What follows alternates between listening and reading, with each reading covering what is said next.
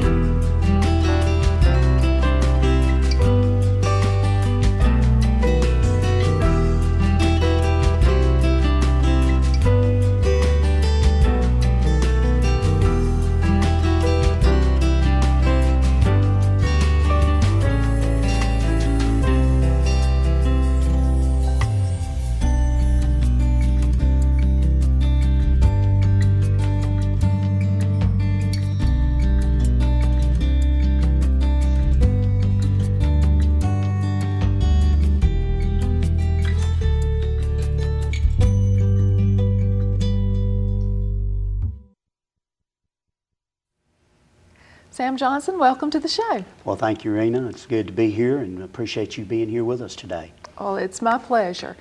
What's the story that led you to Woodhaven?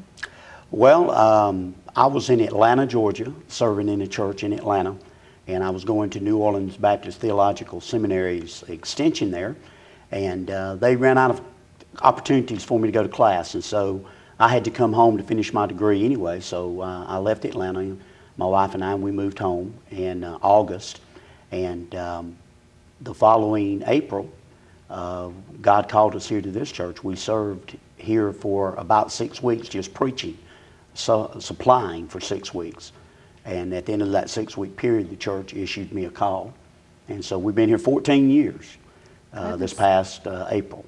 Oh, that's a, that's a great landmark. 14 years at one, one church. That's one long, really great. That's a long time. It is. It is. Well, now you said you came back home, so you are a local. Yes, ma'am. My family is from Hurley in the Franklin Creek area. Oh, okay. And so um, my wife is from Franklin Creek, and um, we uh, got married right out of high school, and uh, she's my high school sweetheart. And uh, when we got married, I started traveling as a construction worker and um, we went all over the country, and we settled down in Atlanta. We we stayed there about uh, about 14 years.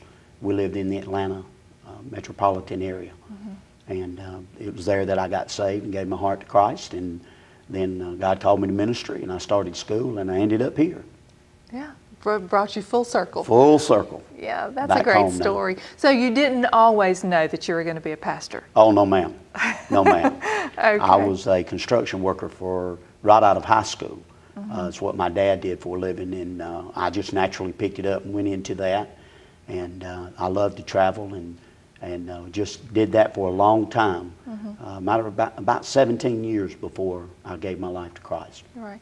Can you look back though and see how God orchestrated and brought you through different turns in your life to bring you here? Uh, yes, ma'am. He's had his, his hand on me, and uh, the things that he's taught me uh, through the years has prepared me. Uh, nothing happens by coincidence. God has, is sovereign, and He knows exactly what He wants to do with our lives, even if we don't. Sure. And uh, every step along the way, He's prepared me for uh, this place and this time to be able to serve Him. And so uh, it's been a very exciting journey. And it's not over yet, thank goodness. Yeah. And uh, we've got a lot to learn and a lot to do. Mm-hmm. Well, you know, pastoring here in Ocean Springs, I know we said that you were a local, but you haven't always been in Ocean Springs. But I love the town. It is just such a quaint little town. It almost takes you back to a different place in time. And so tell me, what's the unique things about pastoring a church in Ocean Springs? Well, the, this is a great family oriented community. Uh, our families support our schools very well here on the coast. You can go to any elementary school or the middle school or the high school, and uh, there's multiple times that the family unit is there together, husband and wife, or mom or dad. Um, it's unique that uh, there's a lot of people that's lived here a long time, and so it's still got that um, that historical background of mm-hmm. certain families and certain folks that have lived here for a long period of time. We get a lot of military folks moved to Ocean Springs and um, great um, patriotic atmosphere, supportive country, and, and so you put all that together, and it does make Ocean Springs unique in its own way. Yeah. So, what is the congregation like here? Um, is that a good representation of, of the congregation you have? Well, traditionally, yes. Uh, we have uh, a lot of military folks that come through our congregation. Of course, they're here for a short time. Uh, we're multiracial. We have um, uh, several different nationalities here now. We have uh, some folks from Korea and from China. Um, we, uh, for some reason, God is is bringing a multi multicultural cultural background here, and uh, all folks are accepted, and uh, we just love people the way they are. Right. So, how do you minister in that way? You know, how do you make it? Um, you know, I know you said the Lord brings them here, but how do you, as pastor, make them feel welcome, and how do you minister to them? Well, uh, as you and I were talking off camera, uh, my wife and I have been involved in foster care and involved in the community. This is a very community oriented church. We are in our community as much as possible. Uh, one of the things that we've done is adopted children from foster care. And um, our daughters are, uh, let's just say, unique. They're, they're not like my son and my birth children. And um, that has given us an opportunity to cross cultural lines and to show our love. I think as a pastor, uh, the gospel teaches us that the key ingredient to the gospel is love. Oh, If you just love people and you're genuine with your love affair for them, um, cultural backgrounds can be crossed very simple. Right. They just diminish. They just go away. That's your. I love what you really said it all, and it's about love. You know, if, if the greatest of these is love, and if we can just love like Christ loves, then every other boundary and div- dividing line, like you said, will just It just melts away. right. Um, I tell people all the time, Jesus only sees one color, Sure. and that's the blood of Christ. right. And whether we've been uh, cleansed and washed in the blood of His sacrifice has been applied to our lives. If that is the case, and we've accepted Him and accepted that, then He doesn't see nationalities or cultures. He sees um, His sacrifice on us. And so, if you believe that and you live that, there's no reason that we should have boundaries and barriers and Right. um, you know communication things we can work through. Right. Um, we've got a lady that started coming to our church from uh, uh, South Korea, and she told me she said my English is not very good, and I said so join the crowd. Mine's not either. and being from the South is, Right. is unique, and so right. we laugh, and and she's uh, she comes and she fits in. She's very comfortable here, and uh, it's all about love. Right, right. And you know, like I said, you, you, you nailed it right there with the one word, and he sees us as his own. And that's just the bottom line. And so, um, you know, to welcome any and all here is, I think, speaks a lot of, of you as a pastor as well. You know, and, and I'm sure that that was brought out as being foster parents because, you know, it takes a special person to have that kind of love that can love and let go, you know, as well. Well, I've learned through the scripture that he that sins much is loved much. And when you come from a very sinful background and the, the mercy of God and the grace of God has been administered to you, and you've been forgiven of much, you've been cleansed of much, um, you have a large amount of love to give toward other people. And so uh, I'm very thankful for what God has done in my life, and, and uh, I just want to love folks. Beautiful statement. There's more to come. We're going to continue our conversation right after this. Stay with us.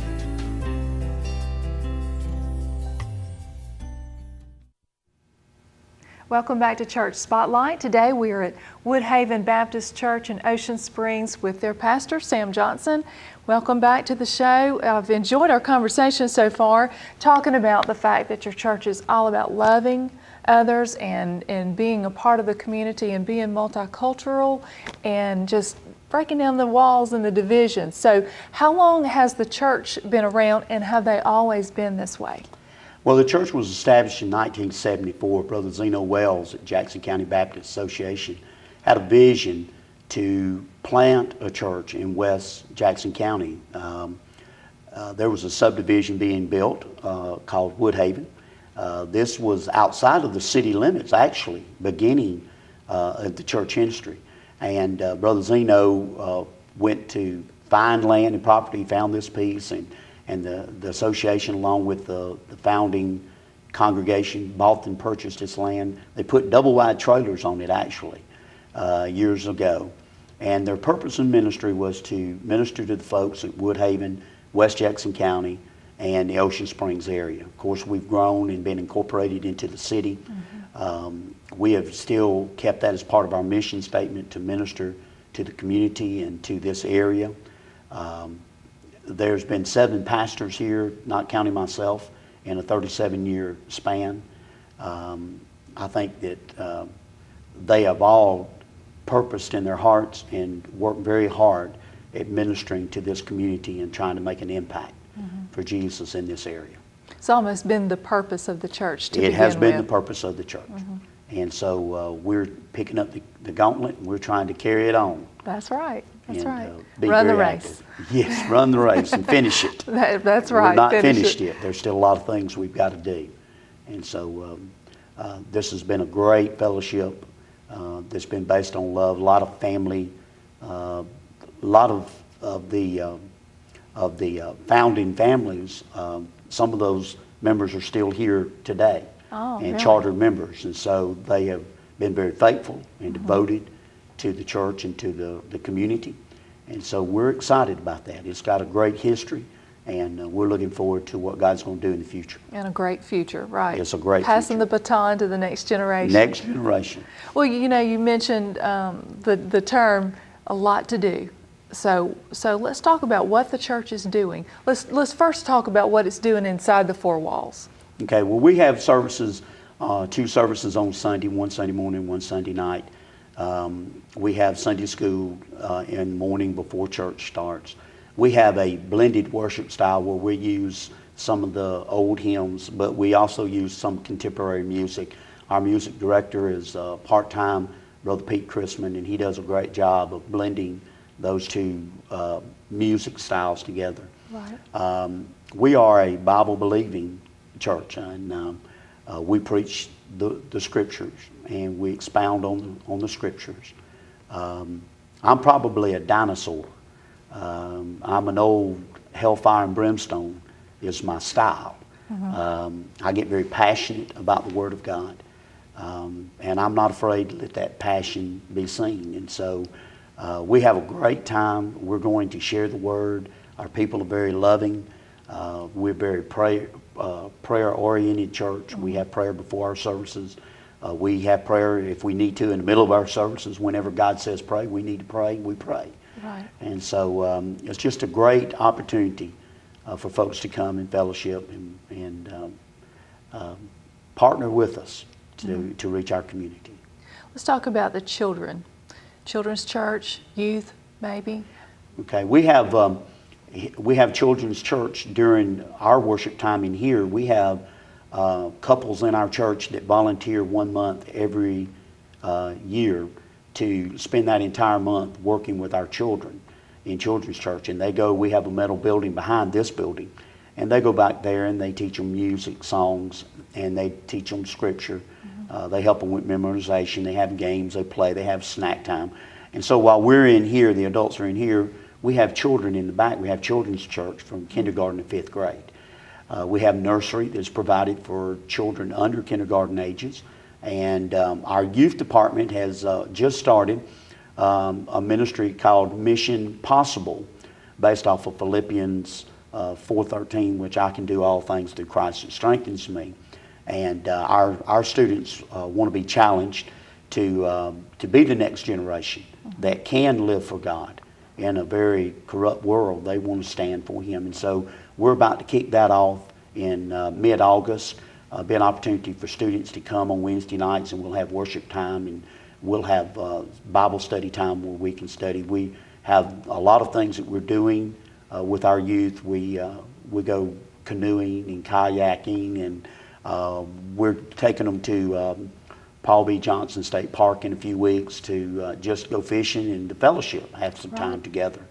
And so we're excited about what God's doing in that area with our children and with our youth. Yeah, that sounds that sounds very active, and you've got to be active to keep them, you know, involved. They're very active, especially with teenagers and Right, children. right. Uh, in this day and time where you got so many games and so much competition from the world, you've got to provide opportunities for kids to come and to have as much fun at church as they do It's true. anywhere else. It's true. It's all about having fun, um, you know, at that age group, and you know, and you've got to mix that in with the Word of God and and put things on their level to reach them.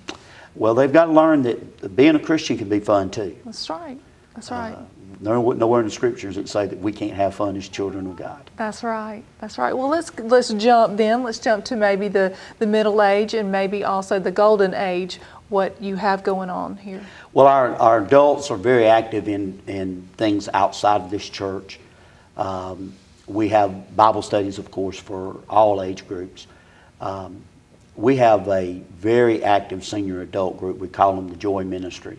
Uh, they are constantly searching for things to serve our community.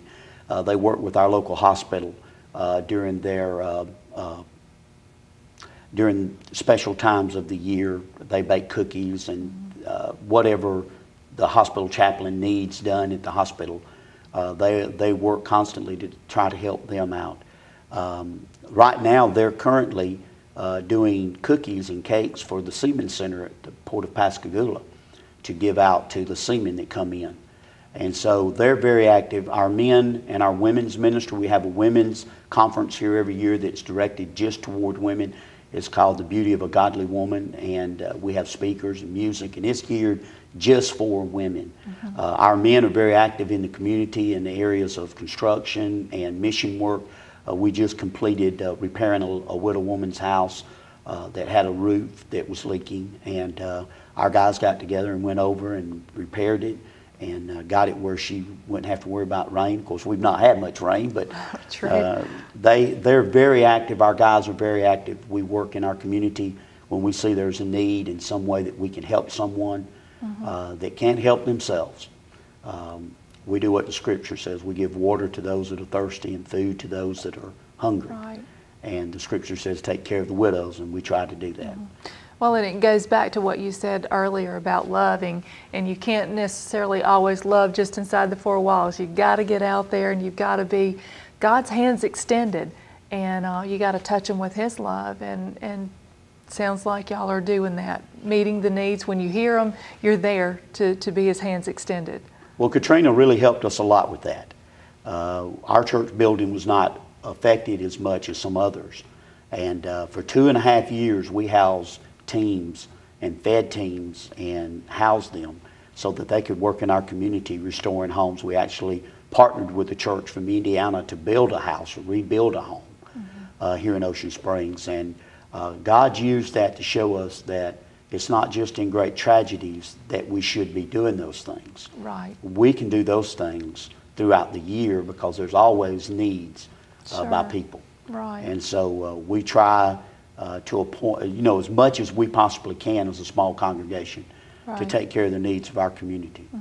And sometimes it's not always necessarily a need that you use to to, to meet somebody. You No. know. We have what we call water and well ministries. We have some tents and, and we take water and we go to Fourth of July celebrations and we hand out water. Uh, we've handed out water at Mardi Gras. We've uh, handed out water during um, uh, the car shows, cruising the beach, Yeah. uh, cruising the coast. I believe it's Right. it's called. Uh, we get out and we try to, to we try to get our church out into the community as much as possible. Uh, we have a great ministry. Our senior adults and our middle-aged adults do a great job. We four years ago had the opportunity to to uh, uh, feed the Ocean Springs High School football team. It started out as just a few games, and um, it led into us partnering with them to feed our team pregame every Friday night before they play. And so they get to come here, and I get to share with them uh, things concerning character uh, to try to encourage them uh, to become young men of character. And then we feed them a home cooked meal every Friday. And it's a big undertaking for such a small church, but Oh, our yeah. folks do such a wonderful job with it. And um, we, we really just, we're part of this community. We're a church that is Right. part of this community. Yeah, sounds like it. Now, how long have y'all been doing this? We've been doing the football team for about uh, four years, if I'm correct. It may be five. Right. Uh, years catch up. That's fabulous. Love well, we enjoy it. Yeah. We really do. Uh, we love young people, and we want to be part of their lives. Go Greyhounds. Yeah. All right, we'll be right back. There's more church spotlight, so stay with us. Welcome back to Church Spotlight. Today we're in Ocean Springs at Woodhaven Baptist Church with their pastor, Sam Johnson. Welcome back to the show. well, I'm glad to be here and appreciate you being here and your fine uh, TV station. Well, thank you so much. It's been my pleasure. Um, we've talked about the congregation and a lot of the things going on inside and outside of the walls, but let's talk about future events, maybe some upcoming things that the church is doing here. Okay, great. We're, we're planning right now to have VBS, Vacation Bible School. We'll start July the 25th through the 29th. It'll be nightly. And uh, we want to invite everyone to come, regardless of when uh, you can come. If you miss one night, we want you to make sure that you can bring your children and you can pick up on the night that you can make it and uh, stay with us the rest of the week. We'd love to have you. Grabbing the last few hours of the summer, right, The to have last- VP, VBS. Look, we go back to school the first week in August. I know. and It's- uh, it's so quick. And so we always try to get a last week where we can get children, uh, give them one more uh, opportunity to have fun Right. and to and to learn about God's word. Right, the summer just gets shorter and shorter. Well, I think time gets shorter and shorter. it just seems to fly by. Right. Uh, we're also in a building program. We're uh, planning to expand the front part of our church here, and uh, we're raising funds for that and waiting on bids to come in. And uh, we'll have to change our parking lot and the design of it. And so we're very excited about what God's doing with our facilities here. We're also planning a youth discipleship weekend, August the 13th through 15th in Collins, Mississippi. We'd like to invite all teenagers to come and be part of that. You can uh, just come by here to the church and start hanging out with us and fellowshipping with us. And uh, we're going to spend uh, a weekend canoeing and uh, spending time learning what God says about being a true disciple. Uh, we're also planning for Thanksgiving. Our church does a Thanksgiving meal at the Haven, the Women's Center for the Home of Grace, and we prepare Thanksgiving lunch for those folks and uh, take care of them. And then we do what we call Christ Christmas here in, in Christmas time, uh, where we gather gifts. Our congregation provides a gift for people in the community that are, um, are needy, and we make sure that they come by and that we can uh, help them uh, help their children have a great Christmas. So we've got a lot of, a lot of things happening Right. in the upcoming months. And speaking of the, the short summer, the fact that school's about to start, that means football's about to start. That means football's about to start. Yeah, That's I don't know if y'all still do Coach's Corner, but it'll be right up on you before you know it. Uh, we start the first week in August, and I think our first game is the Jamboree, the 19th. And so we'll start preparing food and meals for the for the team, and uh, that goes all the way through the end of the season, hopefully all the way to Jackson. There you go. That's right. Wishful, uh, no, I'm not going to say wishful thinking, but just, you know, positive thinking. Positive thinking, taking one game at a time. That's right. Well, before we go, give us your service times. Be glad to.